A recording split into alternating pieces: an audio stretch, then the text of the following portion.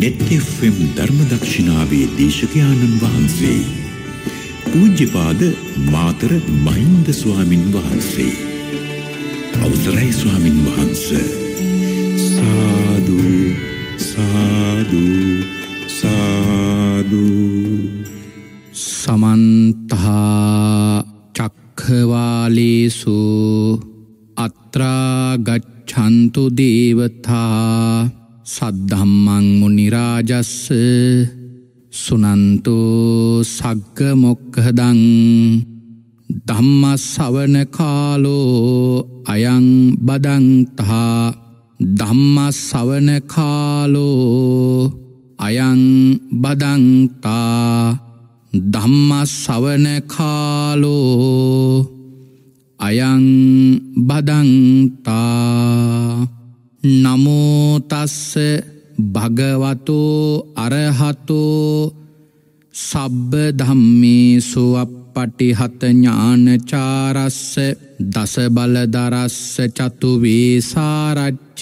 විසාර දස්ස සබ්බ සත්තුත්තමස්ස ධම්මිස්සරස්ස ධම්මරාජස්ස ධම්මත්සාමිස්ස තථාගතස්ස සබ්බඥුනෝ සම්මා සම්බුද්ධස්ස නමෝතස්ස භගවතෝ අරහතෝ සබ්බ ධම්මේසු අපපටිහත ඥානචාරස්ස දස බලදරස්ස චතුවේසාරච්ච විසාර දස්ස සබ්බ සත්තුත්තමස්ස ධම්මිස්සරස්ස ධම්මරාජස්ස ධම්මත්සාමිස්ස තථාගතස්ස සබ්බඥුනෝ සම්මා සම්බුද්ධස්ස නමෝතස්ස භගවතු අරහතෝ.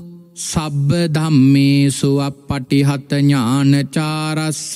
දස බලදරස්ස චතුවේසාරච්ච විසාර දස්ස සබ්බ සත්තුත්තමස්ස ධම්මිස්සරස්ස ධම්මරාජස්ස ධම්මත්සාමිස්ස තථාගතස්ස සබ්බඥුනෝ සම්මා සම්බුද්ධස්ස උතුම්මෝ භාග්‍යවතුන් වහන්සේට මාගේ උතුම් වූ නමස්කාරය වේවා. ධම්මස්වාමී ලෝකස්වාමී භාග්‍යවතුන් වහන්සේට අයිති ධර්මයක් දේශනා කරන මේ වෙලාවේ මාගේ මොවින් වැරදි වචනයක් පිට නොවේවා මිත්‍යාදුෘෂ්ටික වචනයක් පිට නොවේවා මගේ අදහසක් ධර්මයට විරුද්ධව පිට නොවේවා.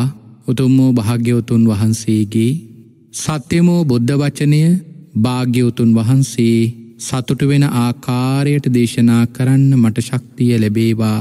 ඒ සඳහා සියලු ආරයන් වහන්සේලාගේ අනුග්‍රහය ලැබේවා. සියලු සත්පුරුෂයන් වහන්සේලාගේ අනුග්‍රහය ලැබේවා. සියලු ශාසනාරක්ෂකයින් වහන්සේලාගේ අනුග්‍රහය ලැබේවා. හැම දෙනාටම භාග්‍යවතුන් වහන්සේගේම ධර්මය අවබෝධ කරගෙන උතුම් චතුරාර්ය සත්‍ය ධර්මයම අවබෝධ කරගනිත්වා. සාධූ සාධූ සාධූ සද්ධර්මශ්‍රාවක කාරුණික ගුණගරුක පින්වත්නි අද දවසේදී පින්වත් හැම දෙනාම මේ වෙලාවේ බලාපොරොත්තු වන්නේ භාග්‍යවත් අරහත් සම්මා සම්බුදුරජාණන් වහන්සේ විසින් ඔබෙත් මගෙත් නිවන පිණිස මහාකරුණාවෙන් දේශනා කොට වදාළ ස්වාසෝ දහසක් ධර්මස්කන්ධයන් අතරින් ඉතාමත්ම වටින ධර්මකාරණාවක් ශ්‍රවණය කරන්නටයි. පිඟතුරි අද දවසේ මේ උතුම් වූ සද්ධර්ම දේශනාව සඳහා අපි බොහෝම වැදගත් මාතෘකාවක් සාකච්ඡා කරගෙන යන්නේ. අපේ පිංහතුන් දන්නවා. ලෝතුරා භාග්‍යවතුන් වහන්සේ මේ බුද්ධ ශාසනයෙහි බලාපොරොත්තුවෙච්ච සිව්වනක් පිරිස මොනවගේද. භාග්‍යවතුන් වහන්සේගේ හිත සතුටු කරවන ශ්‍රාවකය මොනවගේද. උන්වහන්සේ කොයි වගේ ශ්‍රාවක පිරිසක් මේ ශාසනය බලාපොරොත්තුනාද. අන්නේ කාරණාව තමයි අපි මෙ දවස්ටිකේ සාකච්ඡා කරගෙනාවේ. ඒ සඳහ අපි තෝරගත්තේ මහා පරණිබ්බාන සූත්‍රයේ දැක්වෙන මාරායචනය කියන කොටස. බුදුරජාන් වහන්සේ සම්මා සම්බුද්ධත්වය ලබලා අටවෙනි සතියේ නේරංජනා නදීතීරේ අජපාල නුගුරුකුමුල වැඩවසද්දී පෞකාර මාරය ඇවිල්ල භාගතුන් වහන්සේට පිරිනිමන් පාන්න කියලා ආරාධනාවක් කරානි. එවිලායි භාගතුන් වහන්සේ මේ ශාසනයෙහි පෞකාර මාරය මම පිරිනුවන් පාන්නි නැහැ වියත්තා වියත්භාවයට පත්වෙච්ච. එවගේම අතිශයම සංවර වූ විනීත භාවයක් තියෙන. ඒවගේම කෙලවරටම ඉගෙනගත්තු විශාරද භාවයක් තියෙන. බොහෝ ධර්මය අහලා තියෙන. ඒ අහපු ධර්මය කටපාඩන් කරගෙන තියෙන. ඒ කටපාඩන් කරගතු ධර්මිය විදර්ශනාව දක්වා පුරුදු පුහුණු කරගෙන වඩන. එවගේම තමයි මේ ශාසනයේ උතුම් තැනකට පත්වෙච්ච. ධර්මය අනුව ජීවිතයේ හැඩගස්වාගත්තු. භික්‍ෂුවක් භික්‍ෂුණියක් උපාසකෙක් උපාසිකාවක් බිහිවෙනකං මං පෙරනුවන් පානිනේ. අපි ඒ කාරණා පෙළ අපි පසුගිය දහම් වැඩසටහන් තුළින් සාකච්ඡා කලා. තොට අපි ගිය සති අවසං කරාමේ අනුදම්ම චාරිනෝ කියන කොටස ළඟට එනකං. වියත්තා විනීතා විශාරදා බහුස්සුතා ධම්මදරා ධම්මානු ධම්ම පටිපන්නා සාමීචි පටිපන්නා අනුදම්ම චාරිනෝ කියන මෙන මේ කාරණාව ළඟට එනකං අපි සාකච්ඡා කරා. ඊළඟට බුදුරහම් භාග්‍යතුන් වහන්සේ දේශනා කරනවා සකං ආචාරියකං උග්ගහෙත්වා ආචික්කිස්සන්ති දේසෙස්සන්ති පඤ්ඥපෙස්සන්ති පට්ඨපෙස්සන්ති විවරිස්සන්ති විභජිස්සන්ති උත්තානි කරිස්සන්ති. භාගතුනහස දේශනා කරන මේ සකං ආචරියකං උග්ගහෙත්වා කියලා. මේ සකං ආචරියකං උග්ගහෙත්වා කියලා මෙතර මේ විස්තර කරලා තියෙන්නේ ස්වකීය ආචාර මතය එක ඇන මෙතන විශේෂයෙන්ම දක්වල තියෙන අට්ට කතාව. සකං ආචරියකං කියල දක්වල තියෙන අට්ට කතාව. ඒ අට්ට කතාව මුල පටං ආචික්කිස්සන්ති. තමන් ඉගෙනගත් විදියටම අනුන්ට උගන්වනවා කියනකට තමයි එතන මේ ආචික්කිස් සන්ති කියෙන වචනයෙන් දක්වල තියෙන්නේ. තමන් ඉගෙනගත්තු විදියටම අනුන්ට උගන්වනවා කියන කාරණාව. එවගේම තමයි ඒ කාරණාවල් නිකං උගන්වල තේරුමක් නෑ. ඒවා ඔවුන්ට පාඩන් කරවන්න ඕන දේශේ සන්ති කෙලෙකිව ඒකයි. ආචික්කිස් සන්ති දේශෙස් සන්ති පඤ්ඥ පෙස් සන්ති. ඒවා හොඳින් අවබෝධ කරවන්න ඕන. ඉළඟට පට්ට පෙස්සන්ති. ඒවා බොහෝ කාලයක් පවතින විදියට පිහිටුවන්න ඕන. විවරිස්සන්ති.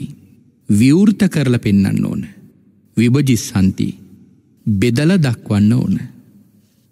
උත්තානි කරිස්සන්ති. නොගැඹුරු දේවල් ඉහලට ඔසවන්න ඕන. ගැඹුරු දේවල් ඉහලට ඔසවල ප්‍රකට කරවන්න ඕන. උත්තානි කරිස්සන්ති කෙලෙක වේකයි. එතර මෙන්න මේකත් සිව්වනක් පිරිසගේ ළඟ තිබියයුතු කාර්යභාරයා. ආචික්කිස්සන්ති දේශෙස්සන්ති පඤ්ඥපෙස්සන්ති පට්ඨපෙස්සන්ති විවරිස්සන්ති විභජිස්සන්ති උත්තානි කරිස්සන්ති. කෙන මෙන මේ කොටසත් සිව්වනක් පිරිසගේ කාර්ය භාරයා. එතකොට දැන් භාගතුන් වහන්සේ දක්වනවා මේ මෙතන විශේෂයම මේ සකං ආචාරියකං උග්ගහෙත්වා. මේ අට්ට කතාව බැහැර කරල නෑ මෙතන. දැන් අද කාලේ පිඟුතුරි විශේෂයෙන්ම දැක්වෙන කාරණාවක් තමයි ලංකාවේ ඇතැම් තැන්වල ඇතැමි මේ අට්ටකතාව සම්බන්ධීන් බොහොම වැරදි මත තමයි දරන්නේ. අපි පහුගිය දේශනා මාලාවක් සිද්ධ කලා මේ ත්‍රිපිටක ධර්මය අද මේ පවතින සම්බුද්ධත්ව ජයන්ති ත්‍රිපිටක ග්‍රන්ථපා ගන්තමාලා පෙළ කොයි වගේද. ඒ ග්‍රන්ථමාලාව අපට ලැබුණි කොහොමද කියන කාරණාව ප්‍රථම ධර්ම සංගායනාවින්දලා දෙවන ධර්ම සංගායනාවට ආපු විදිය දෙවන ධර්ම සංගායනාව ඉඳලා තුන්වෙනි ධර්ම සංගායනාව පවත්වන දවස දක්වාපු විදිය එතනින් පස්සෙදී ලංකාවට ආපු විදිය එවගේම ග්‍රන්ථාරෝඩ කරපු විදිය යනාදී වශයෙන් විස්තර කරා. එතනදි මං පැහැදිලි කරා මේ අට්ට කතාව සම්බන්ධයෙන් විශේෂ කරුණක්. ඒ තමයි මේ අට්ට කතාව කියල කියන්නේ භාග්‍යවතුන් වහන්සේගේ බුද්ධ දේශනාව. එක පිරිසිදුම බුද්ධ දේශනාව තමයි අට්ට කතාව කියල කියන්නේ.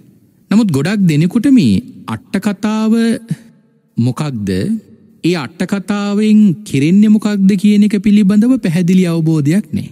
දැන් අට්ට කතාව කියල කියන්නේ භාග්‍යවතුන් වහන්සේගේම දේශනාවක්. භාගතුන් වහස දේශනාව කරනකොට උන්වහන්සේ මූලික දේශනාවත් එවගේම විස්තරාත්මක දේශනාවත් කියෙන මිනිමේ දේශනාවක් තමයි ශ්‍රාවකයෝ වෙනුවෙන් සිද්ධ කරන්නේ.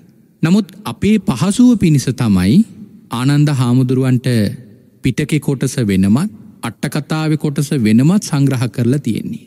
මංගෙදාත් පැහැදිලි කරා භාග්‍යතුන් වහන්සේ දේශනාවක් පවත්වනකොට ඒ දේශනාව අතිශීම දීර්ගයි. කරණීය සූත්‍රය කොයිතරම් දීර්ඝ දේශනාවද්ද කියන එක මං පෙන්වල දුන්න.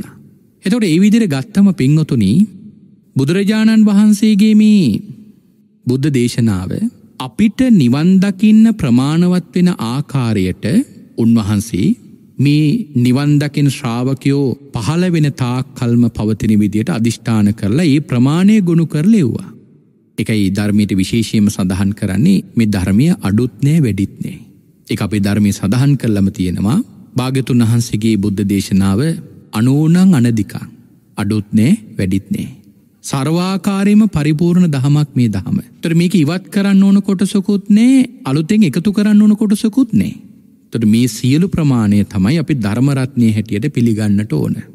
තොර මේ අට්ට කතාව නැතුව සාමාන්‍යෙන් පිංහතුනි අපිට මේ මූලික දේශනාව ඉගෙන ගන්න අමාරුයි. අටකතාව බැහැර කල්ල මූලික දේශනාව ඉගෙන ගන්න අමාරුයි.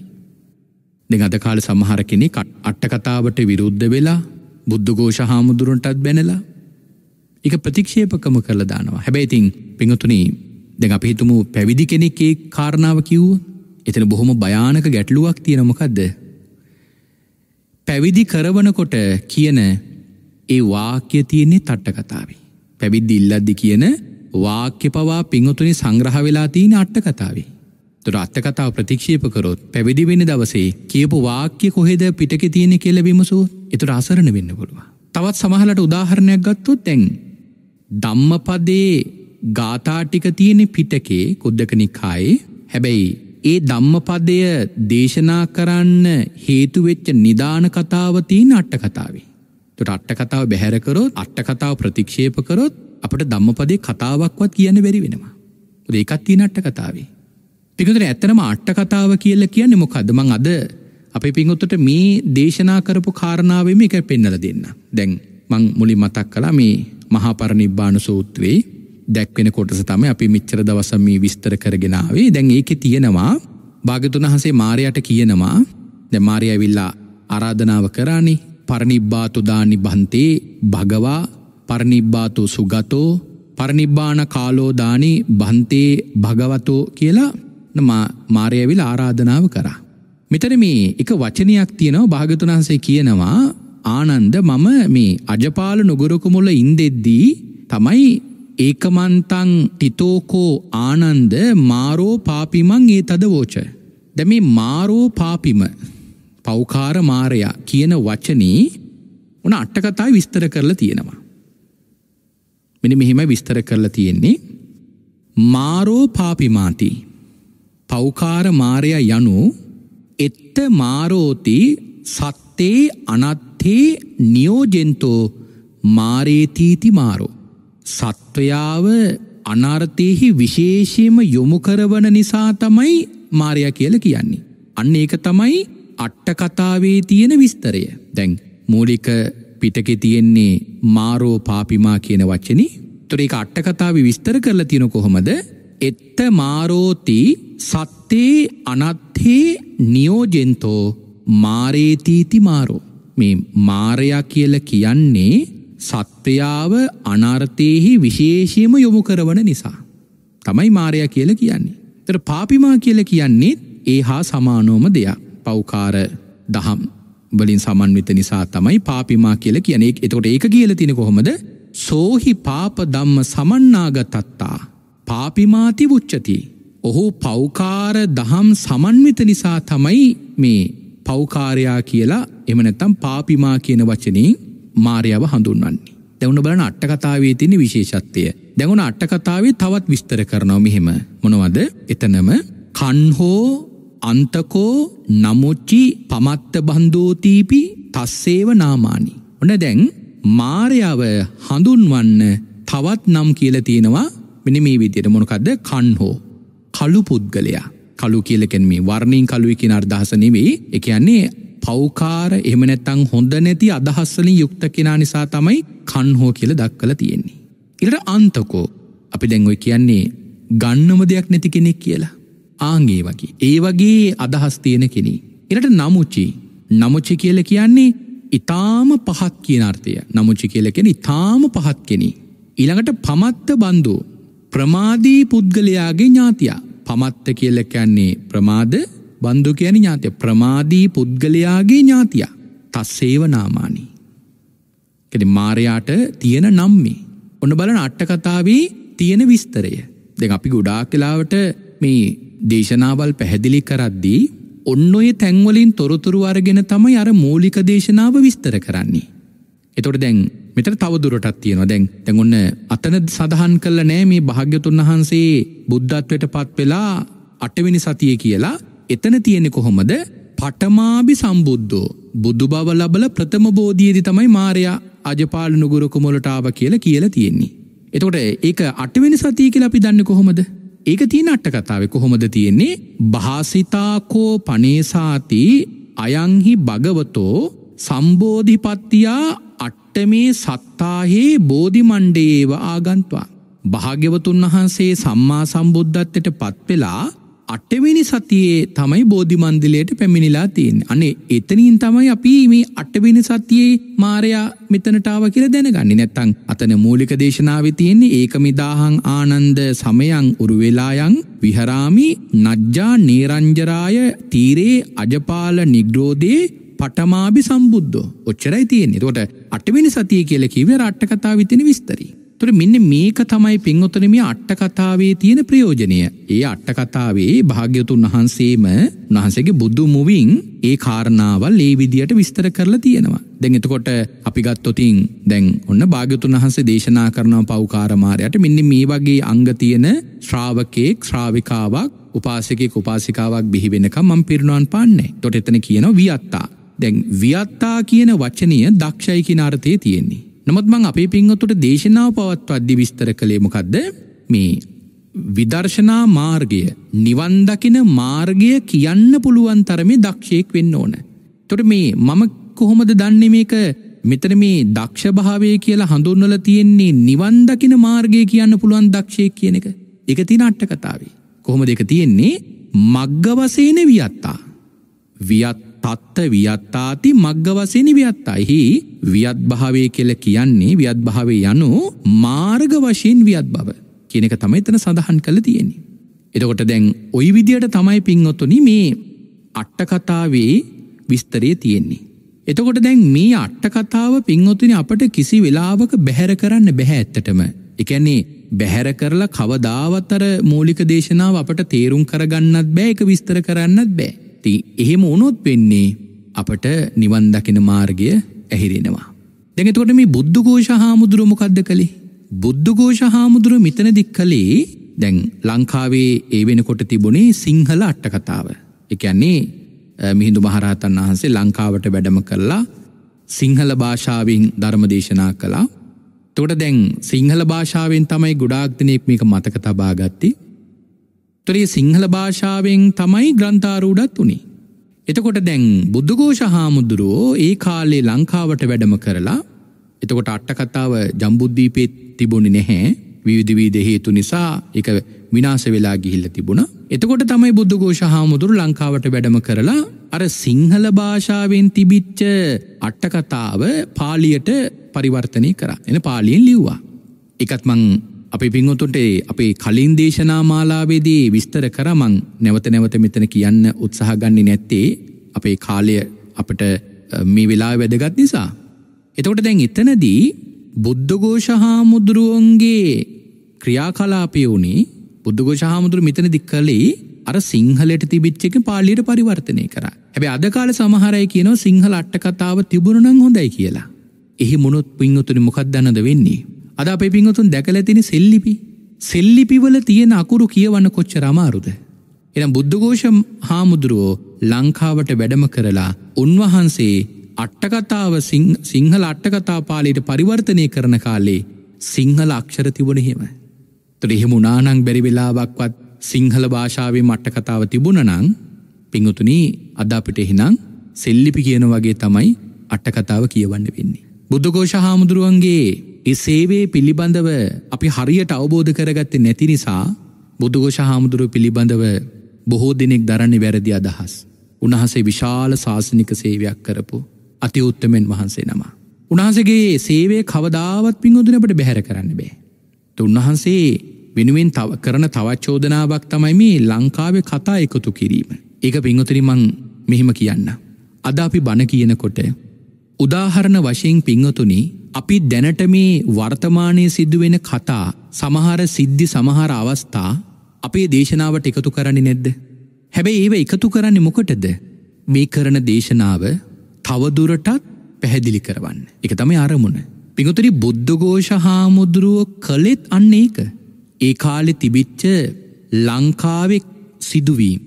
රහතන් වහන්සැලාගේ කතා ආරයන් වහන්සේලාගේ කතා සීලවන්තයන්ගේ කතා දුස්සීලයන්ගේ කතා අලජ්ජී භික්‍ෂූන් වහන්සලගේ කතා මේ වගේ විශාල ප්‍රමාණයක් කරුණු මේකට එකතු කලා එකතු කළේ ඇත්තටම අපට පහසු පිණිස හැබැයි මතකතියාගන්න බුද්ධඝෝෂ හාමුදුරුවෝ ඒව එකතු කරද්දී එකක්වත් උන්වහන්සේගේ අදහස් හැටියට එකතු කල්ලනේ කෙනෙකුට ඔන්නන් ඒටික ඉවත් කරගන්න පුළුවන්.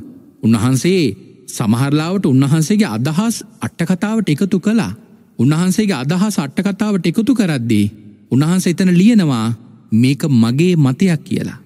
උන්වහන්සේ ඒ විස්තර කරන්න කොට එතනම ලියනවා මේක මගේ මතයක් මේක මගේ පෞද්ගලික අදහසා බලන උන්වහන්සේගේ තියෙන නිහතමානී බව.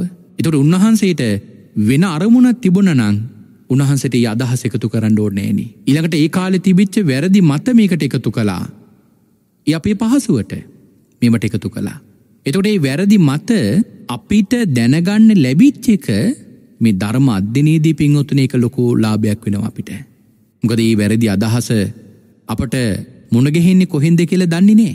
ඒ වගේ කාරණාවල් වෙංවෙං වශයෙන් බුද්ධඝෝෂ හාමුදුරුව අට්ටකතායි විස්තර කරලා තියෙනවා. අට්ටකතාව පින්වතුන අපට කිසි ලෙසකින් බැහැර කරන්න බෑ. හැබැයි මතකතියා ගණ්ඩ ඕන එක කරුණා භාග්‍යවතුන් වහන්සේගේ බුද්ධ දේශනාව කියවනකොට මිත්‍රිපිටකේ අට්ටකතාව තමයි අපි භාග්‍යතුන් වහන්සේගේ බුද්ධ දේශනාව වැටට පිළිගන්නේ. ටීකාව පසුකාලීනව ආරයන් වහන්සේලා සංග්‍රහ කරපු ග්‍රන්ථ පිකතුරේ ටීකාචාරීන් වහන්සේලා ටීකා ලියන්නේ හරියට මේ ත්‍රිපිටකයයි අට්ටකතාවයි කියන මේ කොටස් දෙකම හරියට අත උඩ තියාගෙන වගේ. ඒ වගේ පුදුම අවබෝධයකින් උන්වහසලා ටීකා ග්‍රන්ථ ලියන්නේ. හැබැ ටීකා ග්‍රන්ථවල යම් යම් ගැටලු සහිත තැන් තියෙන පුළුවා. ගොද ඒක පසුකාලීනව සංග්‍රහවෙච්ච එකක්නේ හැබැ ඒකෙන් මම අදහස් කරන්නේ නෑමේ කොටස කිව්වේ මොකද එහෙම කොටස් තියෙනවා ඒවා ටීකාචාරීන් වහන්සේලා තවත් ටීකාචාරීන් වහන්සේලා ලියපු වැරදි කොටස් විවේචනය කරලා තියෙනවා තමන් ලියපු ටීකාවේ. කැනි වෙන ටීකාචාරීන් වහන්සේලා ලියපු සමහර කාරණා තවත් ටීකාචාරීන් වහන්සේ නමක් විවේචනය කරලා ලියල තියෙනවා. මං මෙතන විස්තර කරන්න ඇත්තේ එකට අප ටිකක් කාලයක් යනවයි වගේ එකක් උදාහරණයක් විස්තර කරන්න ගියත්. එතකොට එතන ඒ කොටසින් පින්වතුන එක දෙයක් අපට ඔප්පු වෙනවා. මොකක්ද. කිසිම ටීකා ග්‍රන්ථයක පින්වතුනී අට්ටකතාව සම්බන්ධයෙන්වත් එම නැත්තන් ත්‍රිපිටකය සම්බන්ධයෙන්වත් කිසිම විවේචනාත්මක අදහසක් දරලනේ. එතකොට පිංහතුනි ටීකාව කියල කියන් ටීකාචාරීන් වහන්සේලා අපට වඩා නූගත්ද. ඇයි උන්වහන්සේලාට බැරවුණාද අට්ටකතාවේ වැරදි දැන් තියෙනවනං ඒ අට්ටකතාව තියෙන වැරදිකාරණාවල් උන්වහන්සේලට විවේචනය කරන්න. උන්වහන්සේලා එහෙම විවේචනය කරේ නැත්තේ විවේචනය කරන්න හැකියාවක් නොලෙබ නෙවෙයි. හැකියාව තිබුණා නමුත් උන්වහන්සේලාට අට්ටකතාව සම්බන්ධි හිම විවේචනයක් තිබුණ නෑ ඇත්තටම. නමුත් බං කලින් කියන්න ගියකයි මෙ ධර්මය කියවනකොට මෙනි මේ පද හතරේ ඇතුළේ ඉඳගෙන කියවන්න ඕන. සත්තහා භගවා සාවකෝ හමස්මි. භාග්‍යවතුන් වහන්සේ තමයි මගේ ශාස්තෘූ මම ශ්‍රාවකේ. ජානාති භගවා නාහං ජානාමි. භාග්‍යවතුන් වහන්සේ තමයි දන්නේ මම දන්නේ නෑ. නාහං ජානාමි මම දන්නේ නෑ.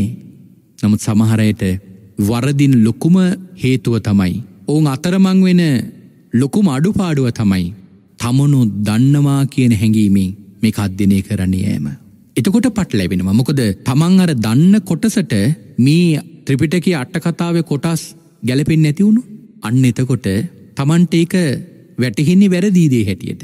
එකත් ඉතින් අපේ නූගත්කම මොකද ගණන් හදද්දී ගණනක් වැරදුනොත් අපිට ආපු උත්තරේ වැරදිවුනාම අපි කියන්නේ නේ ගණන වැරදිී කියලා. අපි කියන උත්තරේ වැරදිී. එතරී නිවැරදි උත්තර එනකං අපි කරන්න මොකක්ද අපේ අඩුපාඩුව දිහා හිටගෙන අපි ගාන හදනවා. අපේ වැරැද්දි ඉඳගෙන තමයි අපි ගාන හදන්නේ. අපි ගණන්වලට වැරදුනා කියලා කියන්නේ නෑ. නමුත් ධර්මීගෙන ගන්නකොට තමන්ගේ ස්වමත්තයට ගැලපෙන් නැති කාරණාවක් ආවොත් අන්න එතකොට හිතනවා අර කොටස වැරදිී කියලා. ති මේක පින්වතුනි ලොකු අඩුපාඩුවක් ඔන්නොය අඩුපාඩුව නිසා තමයි අද ගොඩක් දෙනෙකොට මිත්‍රපිට කට්ටකතාව කියවද්දී බොහෝ තැන්වල ගැටලු මතු වෙලා තියෙන්නේ. ඒකන සමහරය ධර්මය සමහර කොටස් ඉවත් කරනවා. සමහරය සමහර අලුතෙන් කොටස් එකතු කරනවා. විවිධ විවිධ අර්ථකතන දෙනවා. තිං ඒක පිංහතුනි ඒ විදියට සිද්ධ වෙන්නේ අන්නර අඩුපාඩුව නිසා. එක මම කිමික බහින්න ඕන මේක ඉන්න ඕන අන්නර පදහතර ඇතුළේ භාග්‍යතුන් වහන්සේ තමයි දන්නේ මම දන්නේ නෑ. මම මුකෝත්ම දන්නේ නෑ මට කිසිවක් තේරෙන්නේ නෑ කියන තැන ඉඳගෙන මේ අධ්‍යනය කරන්න. එතකොට අපේ පිංහතුන්ට හරියට කරුණාව ලැබිලා ඒ ධර්මය හරියට අවබෝධ කරගන්න පුළුවන් වෙයි. මං එතකොට මේ පැහැදිලි කරේ මෙතන මේ දැන් අරමං කලින් දක්කොපු ගුණාංගවලින් යුක්ත සිව්වනක් පිරිස අට්ටකතාව ඉගෙනගෙන ඒ ඉගෙනගත්තු අට්ට කතාව. අනුන්ට උගන්වන්න ඕන. එකට කියනවා ආටික්කිස් සන්ති. ඊළඟට දේසෙස් සන්ති. ඒ උගන්වල විතරක් මදී එය අයට එක පාඩන් කරවන්න ඕන. මේක සිව්වන පිරිසගේ ළඟතින වගකීම ඔවුන්ට පාඩන් කරවන්න ඕන. එතනත් පිංුතුරි අට්ටකතායි විස්තර කරලා තියෙන්නේ දේශෙස් සන්තීති කියල කියන්නේ වාචෙස් සන්ති පාලිං සම්මාවාචෙස් සන්තීති අත්තෝ. පිටකය යහපත් කොට ප්‍රගුණ කරවන්න ඕන කියන එක තමයි එතන සඳහන් කළ තියෙන්නේ. ඉලට පඤ්ඥ පෙස්සන්ති පඤ්ඥ පෙස්සන්ති කියන්නේ ඉතාම හොඳින් දැනගන්න විදියට අවබෝධ කරවන්න ඕන. ඉළඟට පට්ට පෙස්සන්ති දැන් ඒක එවලෙට විතරක් මතකතාබාගෙන අවබෝධ වෙන මට්ටමට නෙවෙයි ඒක බොහෝ කාලයක් පවතින විදියට පිහිටවන්න ඕන. ඒ උගන්වනදේ දීර්ඝ කාලයක් උගන්වන කෙනාගේ ඉගෙනගන්න කෙනාගේ හිතේ පිහිටුවන විදියට අවබෝධ කරවන්න දක්ෂයෙක් වෙන්නට ඕන. ඉළඟට විවරිස්සන්ති. විවරිස්සන්ති කියල කැනෙ විවෘත කරලා පෙන්න්න ඕන. ඉට විභජිස්සන්ති. විභජිස්සන්තය කියල කියන්නේ බෙදල දක්වන්න ඕන කරුණෙන් කරුණ කොටසින් කොටස බෙදල දක්වන්න ඕන. යට උත්තානි කරිස්සන්ති. මේ පහල තියෙන දේ එමනැතන් ගැම්බෝරීන් තියෙන දේ ඉහලට ඔසවල ප්‍රකට කරවන්න ඕන. එකන දැන් බොහොම ගැඹුරු කාරණාවක් උදාහරණ සහිත උපමා සහිතව කෙනෙකුට අවබෝධ කරවන්න පුළුවන් වෙන විදියට එක ඔසවල පෙන්න්න ඕන. දෙමි සිව්වනක් පිරිසගේ ළඟ තිබියයුතු භාග්‍යතුන් වහසේ සතුටු කරවන කාරණා. භාගතුනස මෙන්න මේව තමයි සිව්වන පිරිසකින් බලාපොරොත්තු වනේ. ඊළඟට දැන් එහෙම ඔසවල පෙන්නලා මෙතන තවත් විශේෂ කරුණක් කියනවා උප්පන්නං පරප්පවාදං සහ දම්මේන සුනික් ගහිතං නිග්ගහෙත්වා සප්පාටිහාරයාහං දම්මං දේශෙස්සන්ති. උප්පන්නං පරප්පවාදං මේ උපන්නා වූ පරවාද මේ ශාසනයට විරුද්ධ වෙන අන්‍ය මත. සහ ධම්මේන ධර්මකරුණු සහිතව සහ ධම්මෙන කෙලෙකිව එකයි. ධර්මකරුණු සහිතව සුනික් ගහිතං මනාකොට මිකාරණ ගොඩාක් වැදගත්. දැන් සමහර වෙලාවට මේ ශාසනයේ බේරගන්න කියලා සමහර කෙනෙක් විරුද්ධ මතවාද විරුද්ධ අදහස් සමහර වෙලාවට කණ්ඩනය කරන්නේ ඒ කණ්ඩනය කරන කෙනාගේ ළඟ තියෙන නොහික්මුණු බවත් ප්‍රකොට ප්‍රකට කරවමි. අර මම්මුලින් දැක්කොපු විනීත භාවයන් ඒ කාරණාවල් බැහැර කරවමින් තමයි එකතුට මේ කාරණාවල් ඉස්මතු කරවන්නේ. එතකොට ඒ ප්‍රමාණය අර භාග්‍යවතුන් වහන්සේගේ ශාසනය රැකගන්න කියන ප්‍රමාණය නෙවෙයි. ඒ කොටසින් භාගතුන් වහසගේ ශාසනය රැකගන්න හැකියාවක් ලැබෙන්නේනේ. මෙතර කියන සුනික් ගහිතන් තැන්. උපන්නා වූ අන්‍යමත්ත දුරු කරන්නනු කොහොමද මනාකොට සංයමයකින්. කෙනෙකොට ඒක ඉගෙනගෙන ඔහුගේ හිත තුළ තියෙන කෙලෙස් නැසෙන විදියට.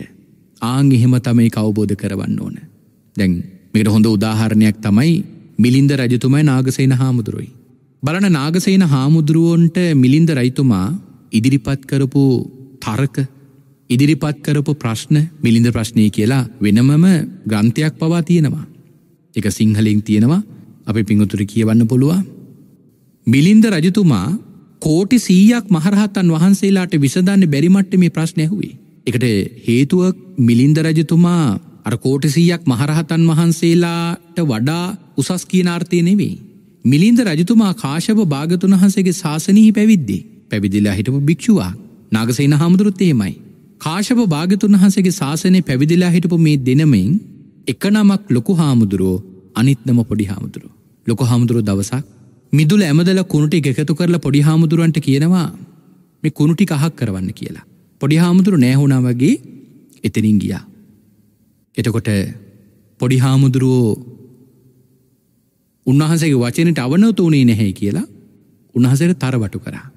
ඉට පසිල් පොඩි හාමුදුරුවෝ කුණුටිකාරගෙන විසි කරන්න ගිය කුණුගොඩට. කුණුගොඩට ඒටික බැහැර කරලා ඉට පස්සෙදී. පොඩි හාමුදුරුවෝ දකිනවා උදේ නැගගෙනෙන සූරයා. පොඩි හාමුදුරුව සූරයාව දැකලා ප්‍රාර්ථනාවක් කරනවා මෙ සූරයගේ තේජස වගේ මට්ටු උපදින භවයන්වල මගේ තේජසත් වැඩිවේවා. ඒකම ගංගාව දැකළ තවත් ප්‍රාර්ථනා කරනවා මේ කුණු විසි කරලා මම රැස්කරගත්තු පිණින් මේ ගංගාවේ රල නැගෙනව වගේ මගේ වාදනෙමැති ගගේ ඥාන නැමැති රල උපදීවා කියල ප්‍රාර්ථනා කර. ඕක හගෙන හිට ලොකු හමුදුරු ඒ කාලෙ පිංහොතුනි අද වගේ හිතින් නෙමේ ප්‍රාර්ථනාවල් ගොඩක් කියලාට කරන්නේ. ඇහෙන්න ශබ්දනගා තමයි කියන්නේ. ලොක හාමුදුරුව ඔය ප්‍රාර්ථනා වහගෙනද ලොක හාමුදුරුවම හිමිහිතුවා පොඩි හාමුදුරුවෝ කුණුටික විසි කරලා ලබ පොපිනින් ඔහොම ප්‍රාර්ථනාවක් කරනං අතුගාපු මටනෙනෙ වැඩිපුරම පින් ලැබෙන්නේ? ලොක හමුදුරමකොද කළේ උන්වහන්සේ මිනි මෙහෙම ප්‍රාර්ථනා දෙකක් කරා. පොඩි හාමුදුරුවෝ සූරේරශ්මිය වගේ තේජවන්තෙක් වෙන කාලෙක ඒ තේජස මා ඉදිරියේ කඳෝ පැණියෙක් වේවා කිව්වා. ගංගාවේ රල වෙරලටැවෙල්ල නවතිනෝ වගේ වාදනෙමැති ගගේ ඥාන නැති රල උපදිද්දී අර වෙරලට ඇවිල්ල රල නතර වෙන වගේ ඔහුගේ ඥානයත් ඔහුගේ වාදයත් මගේ ඥානය ළඟ නතරවේවා කළ ප්‍රාර්ථනා කළා. ඒ පොඩි හාමුදුරුවෝ තමයි මිලිඳ රයිතුමා ලොකො හාමුදුරුවෝ තමයි නාගසේන මහරහතන් වහන්සේ. දැන් මිලින්ද රජතුමා අපේ භාගතුන් වහන්සේගේ කාලේ මේ බුද්ධ ශාසනී කෝටි සීයක් මහරහතන් වහන්සේලාගේ ළඟට ගිහිල්ලා උනහසලකින් අහනවනේ රජුට තියෙන ප්‍රශ්න වගේ මං එක ප්‍රශ්නයක් අපි පින්වතුන්ට කියල දෙන්නම් මේ වෙලාවේ. එතොට එහෙම අහද්දී ඒ රහතන් වහන්සේලාට පිළිතුරු දෙන ශක්තිය නැති වෙනවා. එකට හේතුව තමයි. මිලින්ද රජතුමා අර සසරි කරපු ප්‍රාර්ථනාවේ බලයෙන් රජුවහන ප්‍රශ්නවල ඒ පිළිතුර තමන් දැනගත්තාත් අර රජුගෙ තියෙන පිනේ බලවත්කම නිසා උන්වහන්සේලට පිළිතුරු දෙන ශක්තිය නැති වෙනවා. දැන් ම මෙහෙම උදාහරණයක් කියන්න. ඔය පින කාරණාව තන පැහැදිලි කරන්න ඒක එහෙම වෙන්නේ කොහොමද කියලා තේරුම් කරන්න. අපි හිතමුන්න ලොකු ව්‍යාපාරයක් කරන වෙළඳ සැලක් කරන ව්‍යාපාරිකයෙක් ඉන්නවා. ඔහු තම එතන ප්‍රධානයා ඔහු නැතිවුණොත් ඔය වෙළඳ සැල වහන්න වෙනවා. හැවති එක දවසක් කර වෙළඳ සැල වහනව කියල කියන හොට ඉතින් ලොකු පාඩුවක් තියෙනවා. දැමි මනුස්සයට කවුරු හරි කෙනෙක් ආරාධනාවක් කරනවා ගෙදර මගුල්ගයක් හරි මොනවහරිතින් කටයුත්තත් තියෙනවා එම නැත්තං උදව්වක් ගන්න කෙළි හිතන්නකො උදව්වක් ගන්න අර්මනුසයට කතා කරනවා. එමනුසය කියනවා මට කඩේ වහලෙන්න බෑ මිදස්සලමන් දිකටම වැඩ එනිසා මට එන්න බෑ කියලා. හැබැයි මේ වෙලෙන්දට තවත් කෙනෙ කතා කරනවා.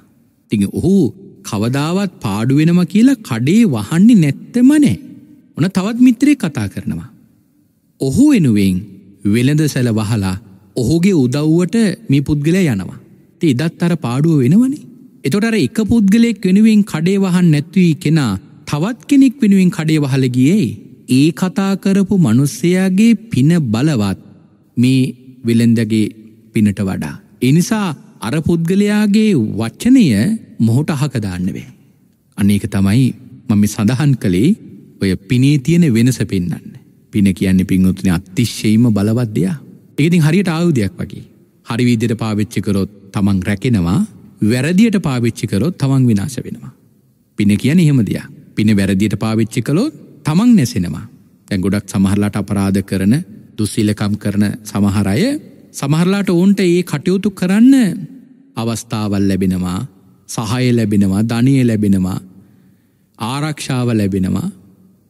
හැබැයි ඒ සියල් ඔහුට ලැබෙන්නේ ඔහුගේ පින නිසා.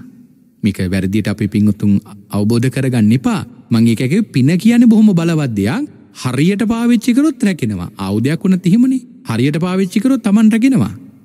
හැබැයි බෝම්බි වැරදිට පාවිච්චි කළෝ තමන් විනාස වෙනවා දිං ඒ වගේ තමයි පිනත් වැරදියට පාවිච්චි කලෝතින් තමන්ට සංසාරිතින් අති භයාන කකුසල කර්ම තමයි රැස්වෙන්නේ. හැබැයි පින හරියට භාවිතා කළොත් ඒ තියෙන පිනින් නැවත නැවත පින් කරනවා. දැන් උදාහරණයක් හැටියට සමහරයට හොඳ කතිකත්වයන් තියෙනවා. තර එවැනි කෙනෙක් ධර්මය හරියට ඉගෙන ගත්තෝත් පිකුතුර ඒ කෙනාට විශාල ශාසනික සේවයක් කරන්න පුළුවන්.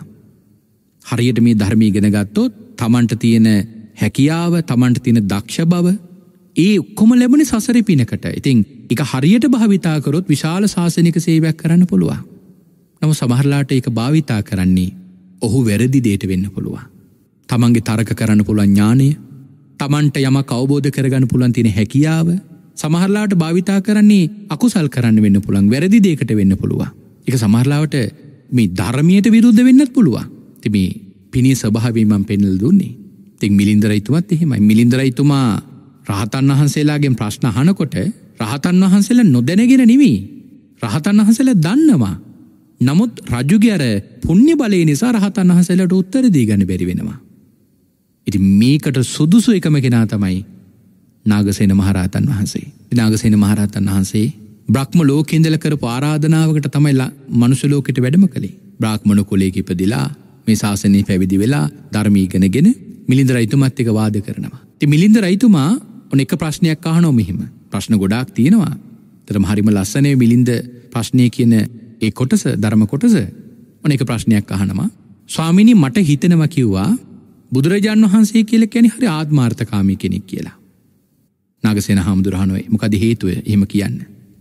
මොකද ස්වාමීනි මේ තමන් වහන්සේගේ අරමුණක් ඉටු කරගන්න බෝධිසත්වය කැටිට උන්වහන්සේ මේ අනිත් අයිව බිල්ලට දුන්නනි. අනිත් අයව පාවල දුන්නනි. රජු හේතු හැටියට දක්වන්නේ දැන් වෙස්සන්තරාත්ම භාවේ දරුව දෙන්න දුන්න. බිරිඳ දුන්න. ඔය වගේ බොහෝ තැන් තියෙනවන්නේ එහෙම දන්දීපු. තුරම අනුන්ට අයිති දේවල් අනුන්ගේ ජීවිත තමන්ගේ අරමුණක් වෙනුවෙන් දන් දුන්න කිව්වා. දැංගක ප්‍රශ්නයක්නේ දැව්වගේ ප්‍රශ්න තමයි මිලින්දරයිතු මහන්නේ. ති නාගසේන හාමුදුරුවෝ බලන්න තම මේ මං අපි පිඟුත්‍ර පැහැදිලි කරේ මේ ධර්මයට විරුද්ධව එන මතවාද කණ්ඩනය කරන ක්‍රමය. මෙ මෙහෙම තමයි ඇත්තටම අපි මේ ශාසනයේ රැකගන්න නම් කටයුතු කරන්න ඕන. එක ඇගෙන් නෙවේ කරන්න ඕන. එක අපේ ප්‍රඥාවෙන් හැබැයි ප්‍රඥාව දියුණු කරගන්න ඕන ධර්මී. ධර්මී තුරින් තමයි ප්‍රඥාව දියුණු කරගන්න ඕන. එතුර එතන පිංහතුනී නාගසයින හාමුදුරන්ගේ උත්තරේමකක්ද. නාගසේන හාමුදුරුව කියනවා මහරජ මං උපමාවක් කියන්න. මහරජ ඔබට බදුනුගයපු එක ගම්බෙසියෝ පිරිසක් ඉන්නවා එක පවුලක් ඉන්නවා. ති බදු නොගෙවපු නිසා ඒ පවුල පිටීම ගෙනල්ලා ඔබේ මාලිගාව හිරගෙදර හිර කරනවා. වරද තමයි බදු නොගෙවපු එක. බදු ගෙවන්න උන්ට වත්කම නෑ. එරින් ඒ වෙලා විදී ඒ පවුල්ලෙෙන් අපිතුම බිරිඳ ඉන්නවා සැමිය ඉන්නවා දරුව ඉන්නවා. එහෙමන. එතකොට සැමිය ඇවිල්ලා රජුගෙන් අහනවා මහරජ මගේ බිරිඳයි දරුවයි ඔබතුම ඇපේට තියාගන්න. පුළුවන්නම් මාව නිදහස් කරවන්න. මම එලියට ගිහිල රස්සාාවක් කරලා මුදල් එකතු කරලා බිරිඳයි දරුවටිකයි මං ඔබතුමාගේ බදුයි දඩයි ඔක්කොම ගෙවල නිදහස් කරගෙන යන්න කිව්වා. තිං එනිසා ඔවුන්ව ඇපේට තියාගෙන මාව නිදහස් කරවන්න කිව්වා. ඉති රජුගෙන් අහනවා නාගසෙන හාමුදුරුව උදාහරණි කියලා මහරජ එහෙම සිදුවීමක් වුණොත් අර සැමියගේ කාර්යභාරය ඔබතුමා අනුමත කරනවාද කෙලැහවා. ඉතින් රජතුමා කියනවා ස්වාමිනයගේ වරදක් මම දකින්නේ මොකද ජීවිත කාලෙම හිරගෙලා ඉන්නවට වඩා එක්කෙනෙක් හරි එලියට ගිහිල්ලා අර අනිත් ඔක්කෝම නිදහස් කරව ගන්න එක වටිනව කිව්වා එක වරදක් මම දකින්නේ නෑ කිව්වා. ඉතිං රජ්ජුගේ කාරණාවෙන්ම නාගසෙන හාමුදුරු උත්තරේ දෙනවා මහරජෙහිනං හිතන්ඩ ලෝතුරා භාග්‍යවතුන් වහන්සේත් ආංගෙහෙමයි කළේ. මේ සසර නෙමැති හිරකුටේ හිරවෙලා ඉන්න. උන්වහන්සේ සමග මේ සත්වයෝ උන්වහන්සේ කළේ උන්වහන්සේ ඒ ඒ ජීවිතවලදි පාරමිතා පුරලා බිරිඳ දරුවෝ ආදී මේ බොහෝ දෙනෙක් දන්දීලා සමහරලට ජීවිත පිටින් දන්දීලා උන්වහන්සේ පාරමිතා පුරලා උන්හන්සේ සම්මා සම්බුධරාජ්‍ය ළඟා කරගෙන මහරජ අර හිරවෙලා හිටපු සියල්ලෝම ඉහිරගෙදරින් නිදහස් කරා. සසර නැමැති හිරගෙදරින් උන්හන්සේ නිදහස් කලා සඳහන් කළ තියනො පින්වතුනි යමෙක් භාග්‍යවතුන් වහන්සේ පාරමීදම් පුරද්දී යටත් පිරිසෙන් වතුර වීදුරුවක තරම් දෙයක් දුන්නත් භාගතුන් වහන්සේට බෝධිසත්වයන් වහන්සේ පාරමිතා පුරද්දී වතුර වීදුරුවකින් දෙයක් දුන්නත් උදව්වක් කළත් උන්වහසගේ පාරමිතාවට ඒ වතුර වීදුරුව දුන්නු කෙනා පවා සංසාරයෙන් එතර කෙරෙවලු. ආංගේ නිසා තමයි මෙලෝක අති උතුම් වූ දහම් පාටයක් කියන්නේ කතඥෝ කතවේදී පුද්ගොලෝ දුල්ලබෝ ලෝකස්මි. කළෙහෙගුණ දන්න කළෙහෙගුණ සලකන සත්පුරුෂෝ මේ ලෝකෙ දුල්ලබයි. කළෙහෙගුණ දන්න කළෙහෙගුණ සලකන සත්පුරුෂයන්ගේ අතර පිංහතුනී උඩිම්ම වැඩඉන්නේ භාග්‍යවත් අරහත් සම්මා සම්බුදුරජන් වහන්සේ උන්වහන්සේ තරම් කළෙහෙගුණ දන්න කෙනෙක් මේ විශ්ව දහත්වේ කොහිවත්නේ. තිදැම් බලන්න මිලින්ද රජතුමාගේ ප්‍රශ්නෙදී නාගසේන හාමුදුරුවන්ගේ වගකීම කොහොම දිටු කළේ කියලා. පිඟතුනි සිව්වානක් පිරිස වෙච්ච අපිත් ආං එහෙම වෙන්න ඕන. අපි මේ ශාසනයට එන අන්‍ය මත බලපෑම් මේ ශාසනය විනාශ කරන්නෙන අදහස් අපි කණ්ඩනය කරනු නාගේ විදියට. එක මෙතන බුදු හාමුදුරුවෝ ඒ වගකීම ඉටු කරන විදිිය කියල තියෙන උපන්නානං පරප්පවාදං සහදම්මේන. උපන්නාව අන්‍ය මත නිකන්නෙමේ ධර්ම කරුණු සහිතව. සුනිග්ගහිතා මනාකොට නිග්ගහෙත්වා ඒව නිග්‍රහ කරන්න ඕන. එව බැහැර කරවන්න ඕන ප්‍රතික්ෂේප කරවන්න ඕන. අන්නෙහෙම උපන්නාව අන්‍ය මත ධර්මකරුණු සහිතව මනාකොට නිග්‍රහ කරන නිග්‍රහ කරමින් සප්පාටිහාරියන් දම්මත්දේ සිස්සන්ති ප්‍රාතිහාරය සහිතික අයික විශේෂ ප්‍රාතිහාරයක් අන්නෙහෙම ප්‍රාතිහාරය සහිතව ධර්මදේශනා කරන භික්ෂුවක් භික්ෂුණයක් උපාසයකෙක උපාසකාවක් බිහිවෙනකං ආනන්ද මම්මාරයට කිව්වා පෞකාරමාරය මං පිරිනුවන් පාණි නෑ කියලා. එතකොට බලන්ඩ භාග්‍යවතුන් වහන්සේ මේ ශාසනයේ බලාපොරොත්වෙචි සිව්වනක් පිරිසමන වගේද කියලා. භාග්‍යවතුන් වහන්සේගේ හිත සතුටු කරවන්න සිව්වන පිරිසමන වගේද කියල හිතල බලන්ඩ. අන්නේ එවැනි කෙනෙක් බවට අපිට පත්වෙන පුළුවන්න. අන්න එක තාම වටින කරුණා. එක භාග්‍යවතුන් වහන්සේගේ හිත සතුටු කරවන කරුණා. ඇබිතිංගි කොටස කරන්න පිංහතුන අපි හොඳින් ධර්මීගෙන ගෙන තියෙන්න්න ඕන. ඒ ධර්ම ඉගෙන ගනිද්දි මං අර මුලි මතක් කළේ අර පදහතර ඇතුළ ඉඳගෙන මේක ඉගෙන ගන්න. මම දන්නේ නෑ භාගතුන් වහසේ තමයි දන්නේ. භාග්‍යතුන් වහන්සේ තමයි මගේ ශාස්තෘ මම ශ්‍රාවකේ. ආං එහෙම ඉඳගත් ඉඳගෙන මේක ඉගෙන ගත්තොත් එකක් ශාසනී එක දියුණුවට හේතුවෙන කාරණාවක් අනිත් එක තමයි තමන්ගේ සසර දියුණු කරගන්නත් ඒක තමන්ට උපකාර වෙනවා. තිබෙන මේ කාරණාව තම අපි මේ දේශනා මාලාවක් හැටියට අපි මේ විස්තර කරගෙනාවේ. ඉති මේ කාරණාව අන්තිමටම විශේෂ කොටසක් මං හිතුව මතක් කරන්න ඕන කියලා අපේ පින්වතුන්ට එ තමයි දැන් භාගතුන් වහන්සේට අටවෙනි සතිය නැවිල මේ ආරාධනාව මාරයක් කළේ. හැබැයි ආය තවුරුදු හතලිස් පහකට පස්සේ මාරය ඔය කියන ආරාධනාව ඔයි විදියටම කළා. තිමාරය ඇවිල්ලා මේ භාගතුන් වහන්සට කියනවා. අවුරුදු හතලිස් පහකට පස්සේ මාරයට මෙහෙම කියනවා. මාරය මෙහෙම කියනවා ස්වාමීනය ඔබහන්සේ යම් අර්ථයක් නිසා පාරමී දම් පිරුවද දැන් ඔබවහන්සේ ඒ තත්ත්වයට පත්වෙලා ඉන්නේ. ඔබහන්සේ සම්මා සම්බුද්ධත්තය ලබල ඉන්නේ. දැම් මේ ලෝකයේ හැසිරෙන් නැතුව ඔබහන්සේ දැම් මොනව කරනවද. දැන් ඔබහන්සේට මොන ප්‍රයෝජනයකටද දැමී ජීවත්තෙන් දැන් ඔබහන්සේගේ අරමු නිටු කරගෙන ඉවරයි. තැන් තවත් මොකට දින්න කියලා හනවා. මිත්‍රෙක් වගේ විල කියන්නේ. තිං ඒකම තමයි භාගතුන් වහන්සට මේ අවුරුදු හතලිස් පහකට පස්සේ වෙලා ආරාධනාව කරේ. ඉතින් එවෙලා බුදුරජාන් වහන්සේ මාරයට මෙහෙම කියනවා. අපපොස්සුකෝති පෞකාර මාරය අල්පෝත්සුක වන සේක්වා. නින්දාවක් කරලා කියනො මෙහෙම. නුඹ මම සම්මා සම්බුද්ධත්වයට පත්වෙලා අටවෙනි සතියේ ඉඳලම මගේ පස්සෙන් ඇවිල හැමදාම කියන්නෙමකක්ද පරණිබ්බාතු දානී බන්තේ භගවා පරණිබ්බාතු සුගතෝ. තැන් භාගතුනන්සේ මාරයට කියනවා නුඹ මම බුදු වෙලා අටවෙන සති ඉඳලාමිති මගේ පස්සෙන් ඇවිල්ල කියනවන කෑගගහ. සාමිනී පිරිනුවන් පානාසේක්වා ස්වාමිනී පිරිනුවන් පානාසේක්වා කියලා තිද මේ භාගතුනන්සේ මාරයට කියනව ඉතින් නුඹ අවුරුදු හතරිස් පහක් තිස්සේමිතින් ඕක කැහැගගහ කෑගගහ මම යන හැම තැනකම කියව කියවාවා. තෙ භාගතුනන්සේ මාරයට කියනවා පෞකාර මාරය දැන්වයි කියවිල්ල නතර කරන්න. අද පටන් මම තුම් මාසයක් කැනකම් පමණයි ජීවත් වෙන්නේ තුන් මාසයක මං පිරිනුවන් පානව කිව්වා. ඉතිං අන්නේ ඒ වෙලාවෙ තමයි අපි අර දන්න ප්‍රකට කරුණක් මෙත නිස්මතු වෙන්නේ. අපි දන්න කොටසක් තමයි මේ බුදුරජාන් වහන්සේට මාරය පිරිනුවන් පාන්න ආරාධනා කරපු වෙලාව අන්තිම වතාවේ ආනන්ද හාමුදුරුවන්ට භාග්‍යතුන් වහන්සේ කරුණක් මතක් කරනවා. එතන අපි අහල තියෙනවා ආනන්ද යම්කිසි කෙනෙක් භාගතුන් වහන්සේට කල්පයක් වැඩඉන්න කියලා ආරාධනාවක් කළොත් භාගතුන් වහසේ ආරාධන පිළියර ගන්නවා කියලා. හැබැතින් ඒ වෙලාවේ භාග්‍යතුන් වහන්සේ කතාව කියද්දී මාරය අමකද කළේ ආනන්ද හාමුදුරුවන්ගේ දැන් ආනන්ද හාමුදුරන්ගේ හිතට ඇතුල් වෙලාවත් නෙවේ සිහිය විකල් කරලා නෙවේ ආනන්ද හාමුදුරන්ගේ සිහිය වෙන පැත්තකට යොමු කරවල තිබුණේ වෙලාවේ. එන වෙන අරමුණක් දිහා ආනන්ද හාමුදුරන්ගේ හිත යොමු කරවල තිබුණා මාරයා. මොකද සිහිය නැති වෙන්නේ ආනන්ද හාමුදුරන්ට මොකද සතිමන්තානං අග්ගෝ කියලා අග්‍රස්ථානයක් ආනන්ද හාමුදුරන්ට තියෙනවා. සිහිය තියෙන භික්‍ෂුන් වහන්සේලා තින අග තැන්පත් කියලා.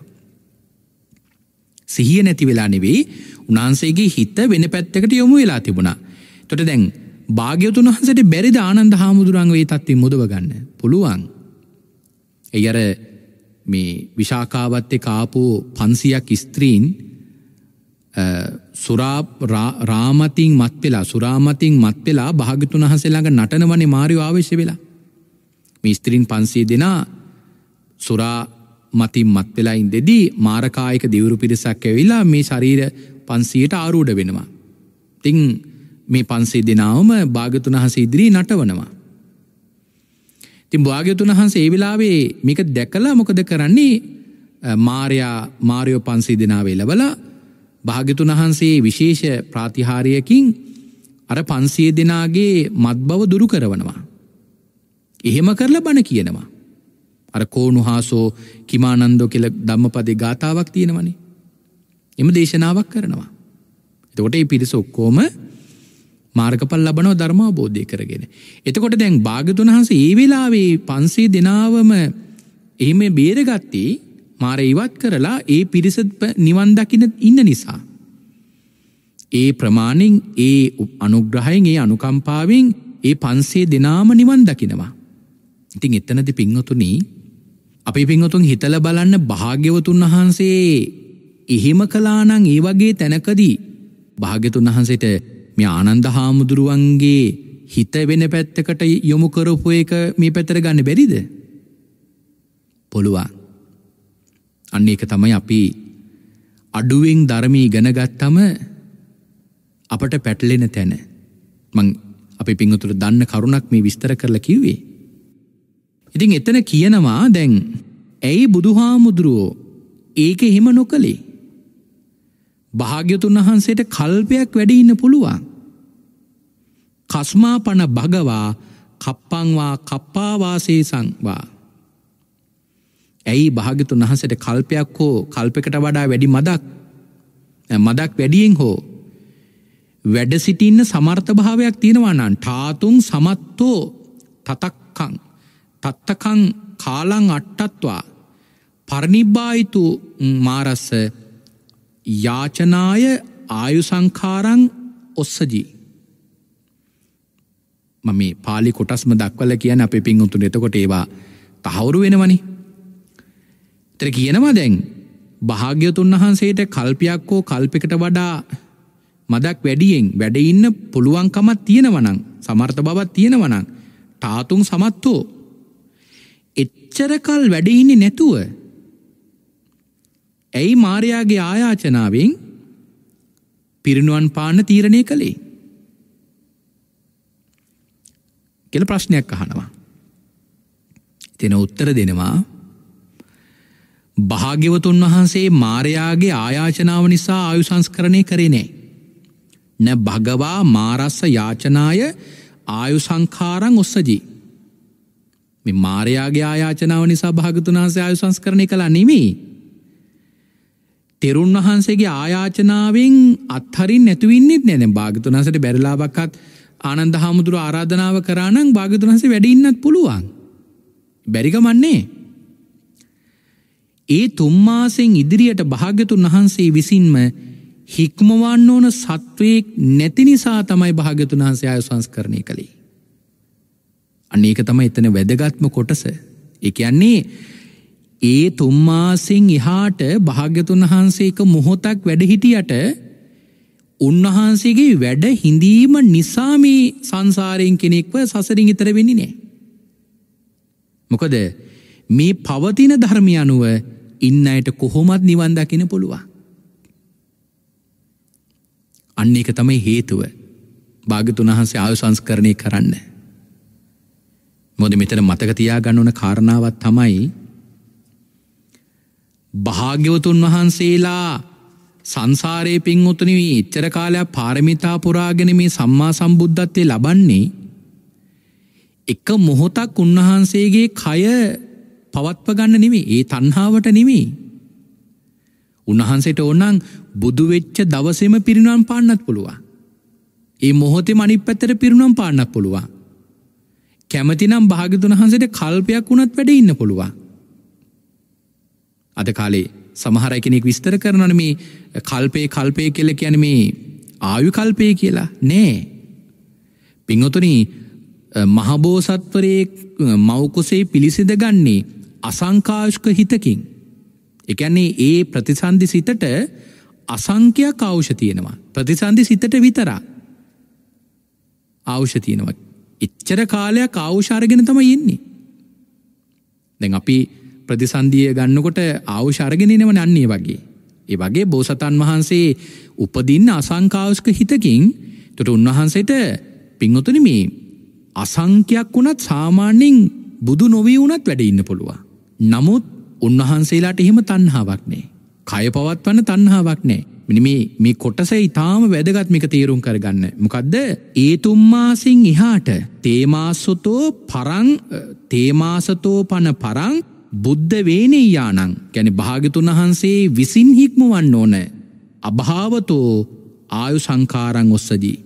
භාග්‍යවතුන් වහන්සේව හික්මවන්න ඕන සත්වයෙක් වෙනීය ජනතාවක් හික්මුවන් ඕන ජනතාවක් මේ ලෝකෙ නැති නිසා තමයි උන්වහන්සේ පිරිනුවන් පාන තීරණය කළේ. ඒක තමයි හේතුව. නැතං මොකද භාග්‍යතුන් වහන්සේලාව ගේ ආවුෂය කාටවත් තීරණය කරන්න බෑ. මොකද මෙතන අහන්න ඒකනේ ප්‍රශ්නයක් හැටියට මේ මාරයාගේ ආරාධනාව නිසා පිරිනම් පෑවියයි කියලා. එතකොට එහිනං දැන් මෙතර තවත් වැදගත් කොට සත්තියෙනවා. මොකද මෙතන විශේෂෙන් කියනවා මාරයාගේ ආයාචනාවෙන් නම් පිරිනුවන් පානෙ භාගතුන් වහන්සේ එහෙනම් භාගතුන් වහන්සේ පිරිනිවන් පාන්න ඕන බුදු වෙලා අටවෙනි සතියේ. ඇයි ප්‍රථමවතාවට ආරාධනා කර ඒ සතියෙන. මාරයාගේ ආයාචනාව නිසානම් භාගතුන්න්සේ පිරිනුවන් පාන්නේ උන්වන්සේ පිරිණන් පාන්න හරණ එදාට. නමුත් එහෙම නොවී උන්සේ මෙදා පිරිනුවම් පැෑවර කාරණාව නිසා. හැබැ මෙතන බොහොම වැදගත් කරුණක් කියනවා. ඇයි භාග්‍යතුන් වහන්සේ අරවෙලාවේ ආනන්ද හාමුදුරුවන්ට කිව් අර වගේ කොට කතාවා මොක දෙකට හේතුව? එතර කියල තියෙනවා. තේරස්ස සෝක තනු කරන් කරනත් තන්ති එකැනෙමේ ආනන්ද හාමුදුරුවන්ගේ ශෝකය තනුක කරන්න. එකන්නේ ශෝකය අඩු කරන්න. අනන්ද හාමුදුරුවන්ගේ තියෙන ශෝකය අඩු කරන්න ඕන නිසා තමයි භාග්‍යතුන් වහන්සේ ආනන්ද හාමුදුරන්ට අර් ප්‍රකාශය කළේ ඇත උන්වහසටික දරාගන්න අමාරුයි. ඉතින් එතකට ආනන්ද හාමුදුරන්ගේ වරදක් හැටිට ආනන්ද හමුදුරක දකින්න එතනදී. ඒක එක හේතුවා මේ ආනන්ද හාමුදුරුවන්ගේ ශෝකයේ අඩු කරන්න ඕන් නිසා මොකද මිච්චර කාලයක් පාරමිතාපුරල මේ තරන් සද්ධාවෙන් එකන අවුරුදු විසි පහක්ම ආනන්ද හාමුදුරුවෝ නේසාජිකන්ගේ සමාධංගල හට නින්දක් නිදාගත්තිනේ ආනන්ද හාමුදුරු අවුරුදු විසි පහක්ම. භාගතුන් වහන්සේගේ සිත අනුව වැඩකරපු කෙනෙ ආනන්ද හාමුදුරු කියන්නේ කල්ප ලක්ෂයක් පාරමිතා පුරාගෙනැවිල්ලයි එ තානන්තරෙටාවේ. එච්චර ආපෝ සද්ධාවන්තයකුට මේ භාගතුන් වහසගේ පරනිර්වාණය වචනය දරාගන්න අමාරුයි අන්නේ ශෝකය තනුක කරන්න ඕන නිසා තමයි භාගතුන් වහසේ ප්‍රකාශය කළේ ආනන්ද හමුදුරන්ට ඉල්ලීමක් කළොත් ඉන්න පුළුවන් කියලා. දේවිලා මාරය වෙන්න පැත්තකට හිත යොමු කරලා තිබිච්චි නිසා ආනන්ද හාමුදුරට එක පිළිතුරු දෙන්න බැරිවුණේ ති බුදු හාමුදුර කිව්වන ආනන්ද බම් තුන් වතාවක් නුබට කිව්වා නොබේ පිළිබඳව උත්සාහවත් වනේ නෑ කියලා. ආනන්ද හාමුදුරට ඉදින් ආනන්ද හාමුදුරන්ගේ අඩු පාඩුවක් ඇටියට එතකොට අර තියෙන දුක වෙන් වෙලා බෙදිල යනවා. ඉතින් එතනත් එක හේතුවක් අනිත් හේතුව තමයි භාග්‍යවතුන් වහන්සේගේ බලය උද්දීපනය කරන්න. මොකද භාගතුනාන්සේ ආනන්ද හාමුදුරට කිව්වේ මොද භාගතුනාන්සල මේ මුසා කියන්න නෑන වැඩඉන්න කිවෝත් කල්පයක් වැඩ ඉන්නවා. තර කල්පය කියල්ල කියන්නේ මහා කල්පයක් වුණත් භාගතුනහසට වැඩින්න පුළුවන්. මොකද පිංගුතුනි දැන් උන්වහන්සේගේ තියෙන රෝග උන්වහන්සට පිංහතුරින් සමාධි සමාපත්ති වලින් යට කරගෙන උන්වහන්සට වැඩින්න පුළන් දීරක කාලය. කය පවත්වන්න පුළන් සමාධි සමාපත්ති වලින්. ඉතින් මේ මුළු ශරීරයම තන පිදුරු බිස්සක් වගේ කුඩු කරල දාපු මුගලන් මහරහතන් වහන්සේ ශරීරයේ කෑල්ටි එකතු කරගෙන බුදුරජන් වහසේ ළඟට ගිය වැඩියනි. පිරුණම් පාන අවසර ගන්න. ඉතින් එත්තරං ආනුභාවයක් තියෙනවා නං එරදිමතෙකුට මේ සම්මා සම්බුදුරජන් වහන්සේට මොනතරම් පිංගුතුනි ශක්තියක් තියෙනවද. උන්හසට වැඩීන්න පුළුවන්.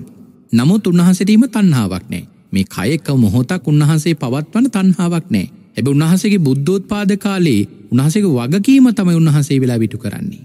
ඉතිං මෙතර කියනවා මෙසේ භාග්‍යවතුන් වහන්සේගේ ඒ මහා ආනුභාව සම්පන්න භාවය පෙන්වන්නත් තමයි භාගතුන් වහන්සේ ඒ වෙලාවේ කාරණාව ප්‍රකාශ කළේ කියලා. මොකද භාගතුන් වහන්සේ මහානුභාව සම්පන්න භාග්‍යතුන් වහන්සේලා සිටිනවනං තමන්ට කැමති විදිකට ඉන්න පුළුවන්. උන්වහන්සේලට වැඩ ඉන්නවන තමන්ට කැමති විදිකට වැඩ ඉන්න පුළුවන් පිරිනුවන් පානවනන් තමන්ට කැමති විලාක පිරුණම් පාන පුළුවන්. එකට මේ කාගෙවත් ආයාචනාවක්කටවත් එමනැත්තං ගැන කාගෙවත් ඉල්ලීමකට වැඩියෙන් වැඩඉන්නෙත්නේ අඩුවෙන් වැඩඉන්නෙත්නේ.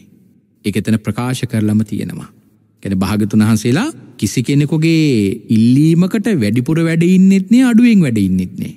තැන් මේ ආරාධනාව කලිනුත් කරාණ කෙනෙ අර මහාප්‍රජාපති ගෝතමී දේවිය භාගතුනාන්සට කිවිසුමක් ගිය පෙලාවේ මේ භාගතුනහසට කල්පයක් වැඩින්නික ආරාධනාව කරානේ තර භාගතුනන් සේවිලාව කිවිමොකක්ද ගෝතමිය භාගතුන් වහන්සේට එහෙම ප්‍රාර්ථනාවල් කරන්න එපා කිව්වා. තර කොයි විදිකට ප්‍රාර්ථනාව කරන්න ඕන කියල කිව්වම කියනවා ගෝතමිය භාගතුන් වහන්සේලාගේ සිත සතුටු වෙන්නේ මෙන මෙහෙම ප්‍රාර්ථනා කළොත් ආරාධ්‍යවීරය වඩන දැඩි පරාක්‍රමයකින් මේ කෙලෙස් නසන භික්‍ෂු පිරිසක් මේ ශාසනයෙහි බිහිවෙනවා දකින්න ලැබෙන එක තමයි භාගතුන් වහන්සේලා කැමති ප්‍රාර්ථනාව කියලා. තිඟ නිසා භාග්‍යතුන් වහන්සේලා පිරුණම් පාන්නේ උන්වහන්සේලගේ ශාසනික සේවි අවසං වුණාම. ඉතිං ඒ විදියට තමයි එතනදී භාගතුන් වහන්සේ තුම්මාසකින් පිරුණන් පානව කියලා මාරයට පොරොන්දු වෙන්නේ. නවත් මේ කාරණාවේ ගොඩාක් වැදගත් කොටස් අපට සාකච්ඡා කරන්න පුළුවන්කමක් ලැබුණ. එනිසාම තමයි අපි දේශනා කීපයක් ඇතුළත මේ දේශනා විස්තර කරගෙනාවේ ඉතින් අපේ පින්වතුන් මේ කාරණාවල් හොඳින් අවබෝධ කරගන්න බුදුරජාන් වහන්සේ මේ ශාසනීහි කැමති මොනවගේ ශ්‍රාවකෙක් දකිනමටද ඉතිං අපේ පින්වතුනුත් මේ සසරින් එතරවෙන්න ගමනක් නම් මේ යන්නේ එහනම් අපේ පින්වතුන් උනන්දු වෙන්න ඕන භාග්‍යවතුන් වහන්සේගේ හිත සතුටු කරවන ශ්‍රාවකෙක් බවට පත්වෙන්න. ඉතිං ඒ මග යන්න පුළුවන් වෙන්නේ භාග්‍යවතුන් වහන්සේගේම බුද්ධානු ශාසනාව හරියටම ඉගෙනගෙන ක්‍රියාත්මක කළොත් විතරයි. වස්කාලය ආරම්භ වෙනවා. ඇති අපේ පින්වතුන් පුළුවන් තරං උනන්දුවක් ඇති කරගන්න මේ වස්තුන් මාසේ පුළුවන් තරං භාග්‍යවතුන් වහන්සේගේ බුද්ධ දේශනාවට අනුව මේ වස්තුන් මාසය දායකයන් වෙච් අපේ පින්වතුන් විය යුතු වගකීම් කොටස හරියට ඉටු කරන්න. තිමං ඊළඟට බලාපොරොත්තු වෙනවා අන්නේ කොටස සම්බන්ධයෙන් අපි පින්වතුන්ට දේශනා කිහිපයක් පවත්වන්න ඉතින් ඒකත් ශ්‍රවණය කරලා අපි පිංහතුට පුළුවන් නිවන අරමුණු කරගෙන සංසාරයෙහි සුවයක් බලාපොරොත්තුවෙන් යන ශ්‍රාවක පින්වතුන්ට එතුම් මාසය හරිවිද්‍යයකට පරිහරණය කරන්න කොහොමදිගෙන කාරණාව තේරුම් කරගන්න. තිගේ කාරණාව අවබෝධ කරවමින් අපි අද දවසේ මේ දේශනාව නිමාවට පත් කරනවා. එමන අදවස මේ දේශනාව පවත්වල රැස්කරගතු සියලුම පින් අපේ පින්වතුන්ට අපි අනුමෝදන් කරනවා. විශේෂයම මේ දේශනාව තුළින් රැස්කරගතු සියලුම පින් පින්වත් හැම දෙනාට මනුමෝදං වේවා. එවගේම නෙත් නාලිකාවේ සභාපතිතුමන්ටත් සාමානධිකාරතුමන්ටත් කාරමණ්ලි පින්වත් හැම දෙනාටමත් මේ සියලු කුසල් අඩුවක් නැතු අනුමෝදං වේවා ඔවුන්ටත් ඔබා පැහැම දෙනාටමත් කෙටිම කාල්ලයකින් පහසුමාකාරයෙන් සුක සහගත ප්‍රතිපදාවෙන් උතුම් චතුරාරි සත්‍ය ධර්මය අවබෝධ කරගන්නට මේ උදාර කුසලානි සංස ධර්මිය පාරමී ධර්මයක්ම වේවායි. සාධූ සාධූ සාධූ කියා ප්‍රාර්ථනා කරගමු. ආකා සට්ටහා චබුම්මට්ටහා දේවානාගා මහිද්දිකා පුඤ්ඥන්තන් අනුමෝදිත්වා චිරන්රක්කන්තු සම්මා සම්බුද්ධ ශාසනං චිරන්රක්කන්තු සම්මා සම්බුද්ධ දේශනං. චිරන්රක්කන්තු සම්මා සම්බුද්ධ සාවකං